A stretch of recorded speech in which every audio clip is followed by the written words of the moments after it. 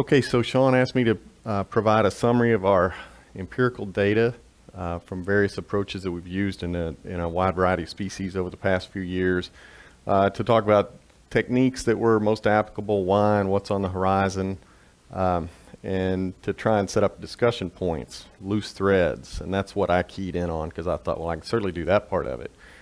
Uh, and so the, uh, the talk I'm going to give is focused on some of our own empirical data sets, warts and all. So some of this work is published, some of it's unpublished, uh, and we're still struggling with.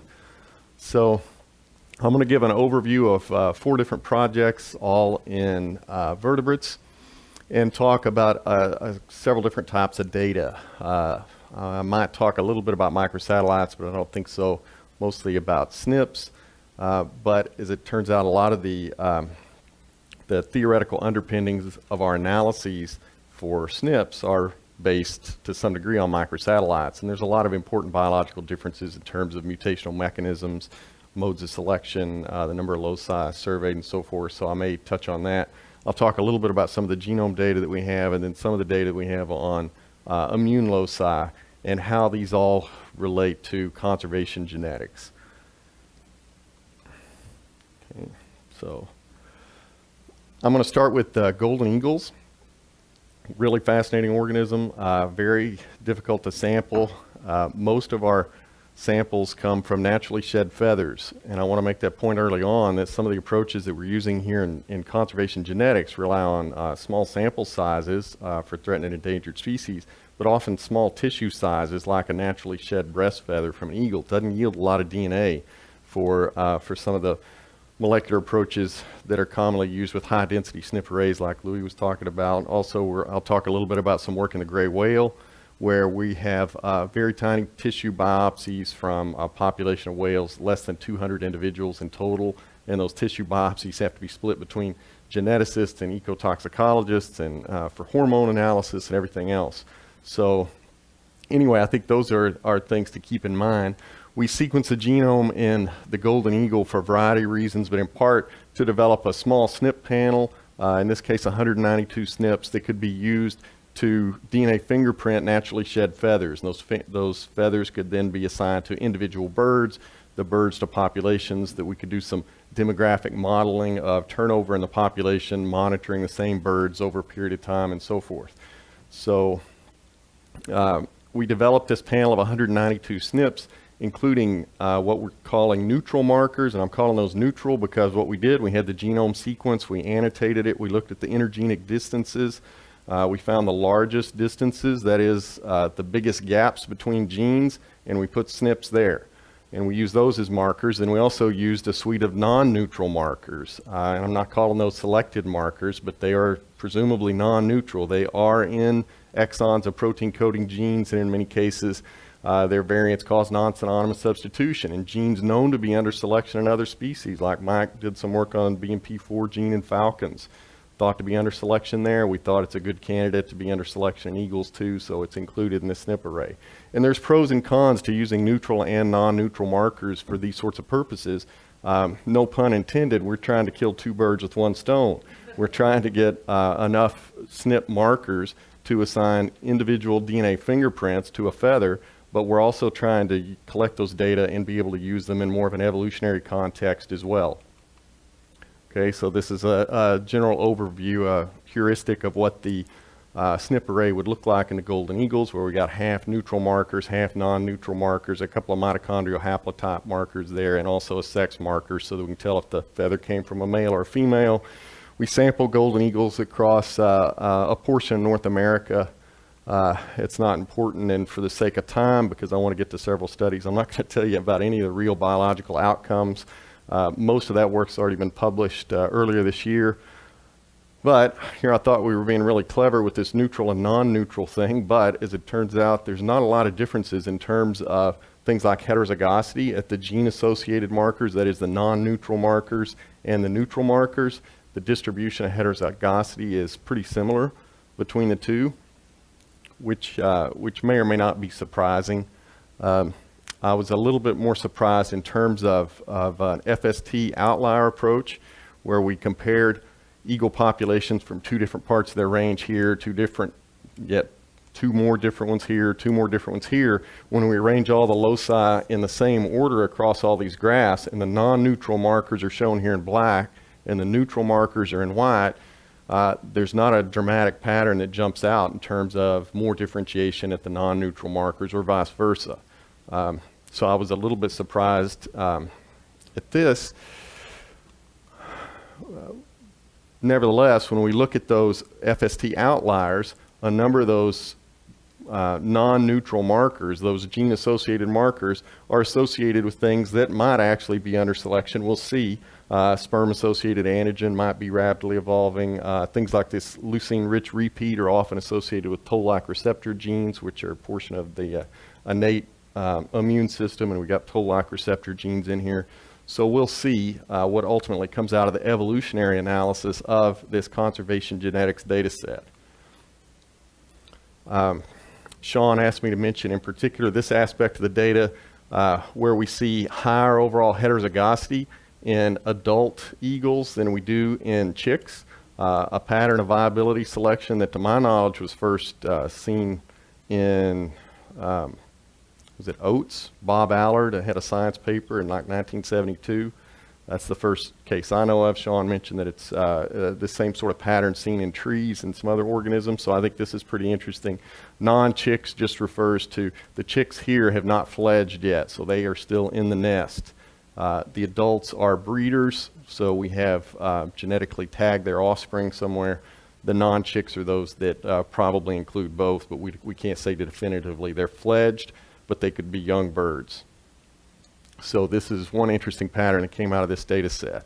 And again, I'm going to skip the, uh, the biological synthesis here because I want to um, get to the end. One thing I'm not suggesting by showing you a table of genes that might be under selection is that those have uh, any particular importance with regards to management scenarios. If we're trying to, for example, identify populations that might be uh, of some conservation concern, and this is an idea that, uh, that Devon Pearse has got a paper, I think it's out now in Journal of Fish Biology, that's, uh, that's interesting. It's a retake of the classic uh, um, Gould and Lewontin paper on the spandrels of San Marcos saying that, you know, this is a very, whenever we do a, uh, an assay like this and we find these genes that are under selection, this is such a tiny proportion of the genome. We shouldn't be trying to manage for variation uh, at, these, uh, at this small proportion of genes. That's not what I'm suggesting. What I am suggesting, hopefully I'm clear on this, we're using the markers for uh, DNA fingerprinting and demographic modeling, but we're also trying to, to uh, glean some evolutionary insights into them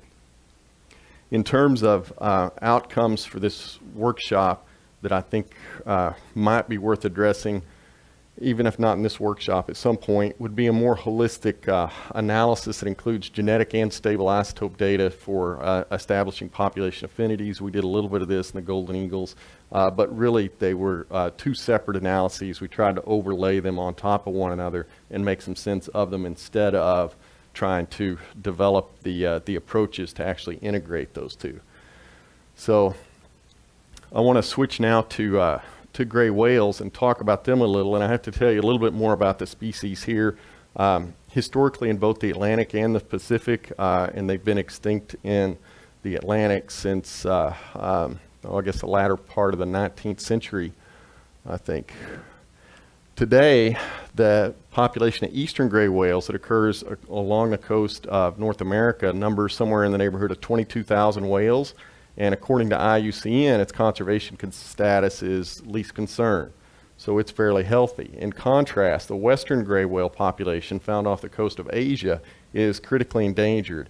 Uh, I've seen estimates um, 140, 160, 180 individuals, certainly less than 250 individuals off the coast of Asia. So there's a big difference here between these two, and one of the questions is, uh, is there any gene flow between them? Because there is a little bit of data with regards to telemetry, and the telemetry data shows these animals from um, the coast of Asia going all the way around the Gulf of Alaska and coming down the western coast of North America down to Baja, California, which is where the eastern gray whales have nursery grounds. So there's some telemetry data for that. Genetic data, uh, we again sequenced the genome. This time uh, we sequenced genomes for three individuals, two western gray whales and one eastern gray whale. Identified a lot of SNPs. This time, all of our SNPs came from candidate genes that were identified in other cetaceans for the most part. Um, and note that to date, because there's a lot of permitting and political issues associated with these whales, actually last week we got um, about 30 eastern gray whales in the lab, but so far we only have data from a single eastern gray whale, and that eastern gray whale came from Barrow, the northern part of Alaska which uh, the, the gray whale aficionados, if you will, will, the real experts tell me it's got to be an eastern gray whale. It's not a western gray whale. They don't ever go up that far. But when I look at a map of, when I look at a globe, I think, okay, I can easily imagine a western gray whale going up there and dying uh, and washing up. It was a beach gray whale. So anyway, I'm a little, I'm agnostic about um, the whole thing. But we took the 35 western gray whale samples, the single eastern gray whale samples, and surveyed them at our SNPs. And it turns out that the, the 36 samples uh, included a number of duplicates, so actually we ended up with 29 individual whales. And there's not much you can do with, it, with 29 individual whales in terms of trying to figure out if populations are distinct or not. Um, but I thought, well, if the lone eastern gray whale we have is from a distinct gene pool, maybe it's more distantly related to everybody else in the western gray whale population. So is it possible to identify outlier, outlier individuals by their mean pairwise relatedness? Go through and calculate all the pairwise relatedness of everybody in the population, population in quotes, and uh, try and identify individuals that might be putative migrants or dispersers. And of course, this approach would also identify highly inbred individuals. Uh, so in some regards, it's a bit similar to assignment tests based on minimizing um, departures from Hardy-Weinberg equilibrium. And this is an approach that in the past was more difficult because microsatellite surveys involved so few loci that the confidence intervals were too large to do anything like this. Uh, but this is what you do, what you see if you calculate mean pairwise relatedness for all of ind individuals in our population. Uh, but the lone eastern gray whale is completely unremarkable down here on the end. So it's no more closely or distantly related to anybody in the western gray whale population than any other western individual out here. So obviously, it'll take more individuals to figure out what's going on there, but those are some of the kinds of things we're trying to do with these panels of SNP markers using tiny biopsies.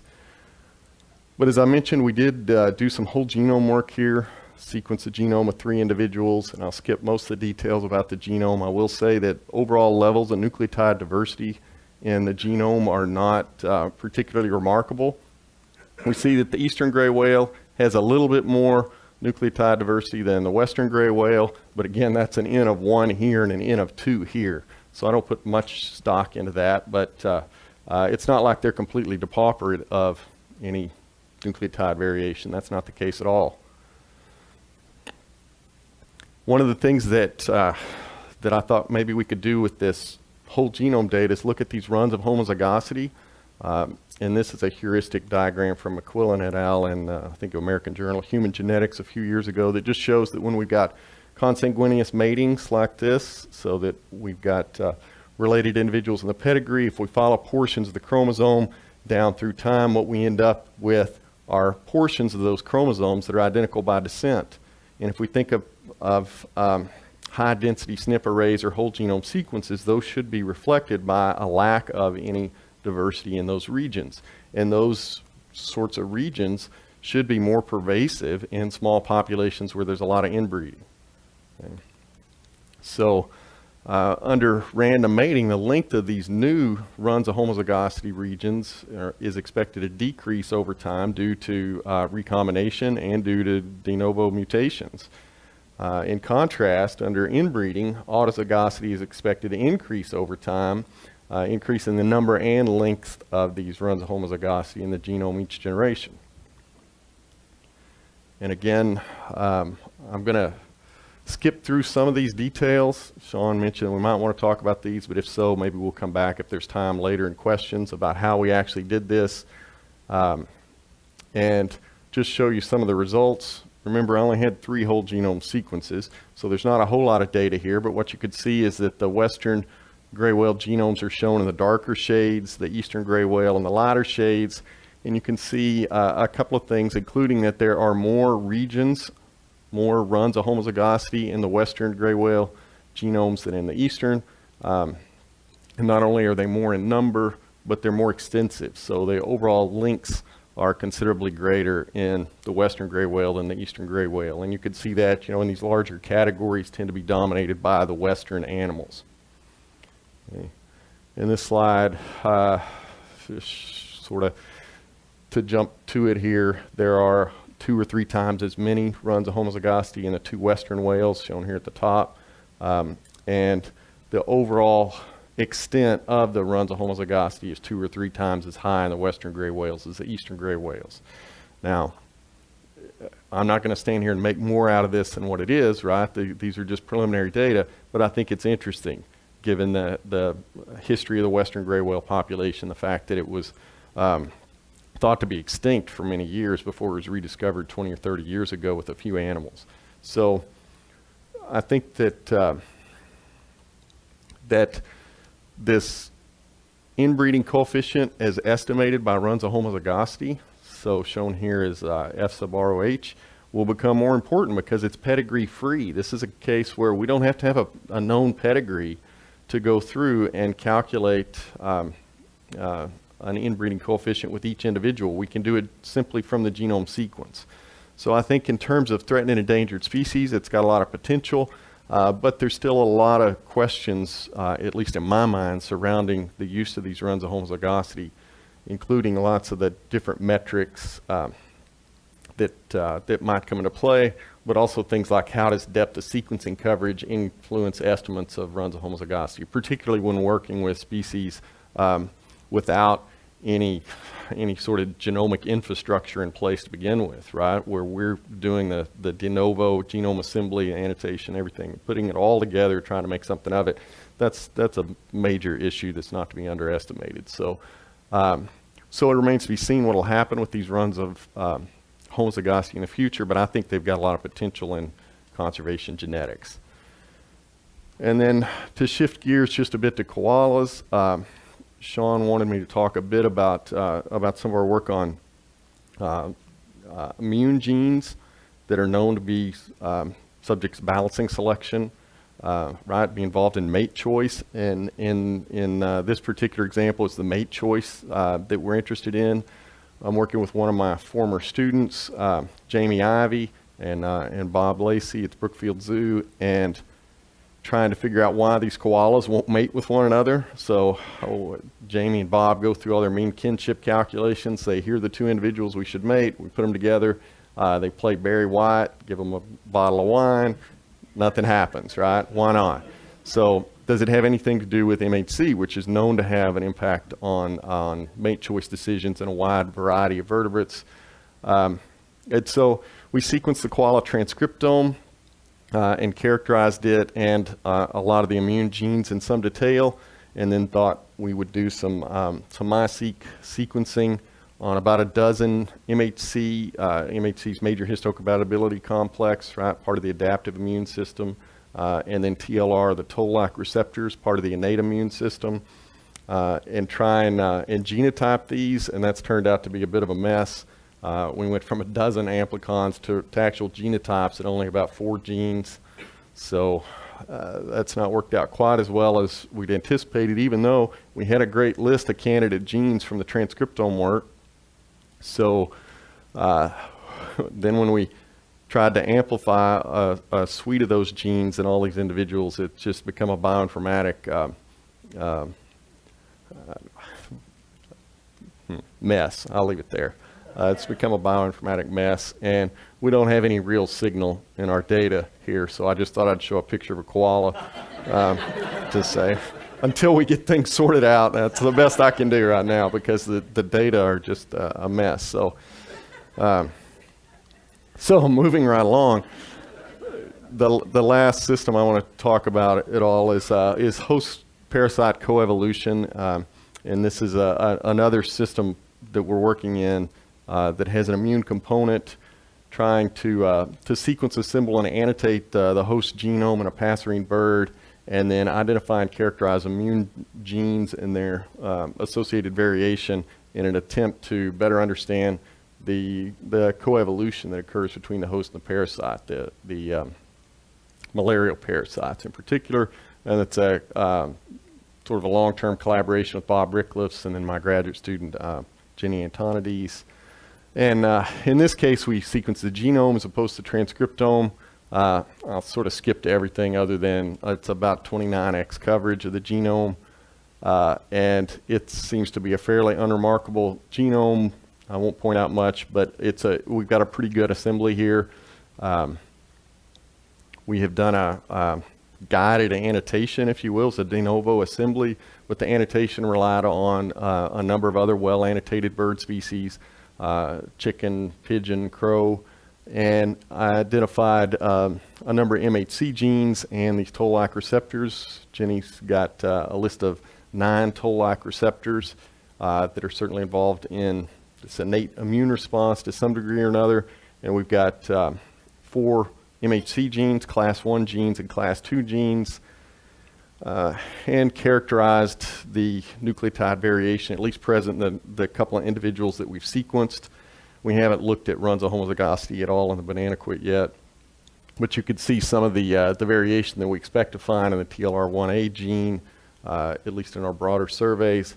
The question now is how to go about doing that given our uh, experience in the koala. So uh, we're moving forward with another pool-seq experiment to try and uh, compare infected versus uninfected birds. Um, but there's, the, I mean, there's some strengths and weaknesses to that. Uh, and one of the weaknesses is this pool-seq approach only provides frequency data from sequencing reads, not the actual genotype data. And the other problem is we're, we're reducing what I think of as probably more of a continuous variable to a binary variable, infected versus uninfected. Um, it's, it's not ideal, but anyway you get down to it, these highly polymorphic and highly duplicated immune genes are still difficult to genotype and work with. So I'm not sure why Sean wanted me to say that, but it's a it's kind of a mess. So, um,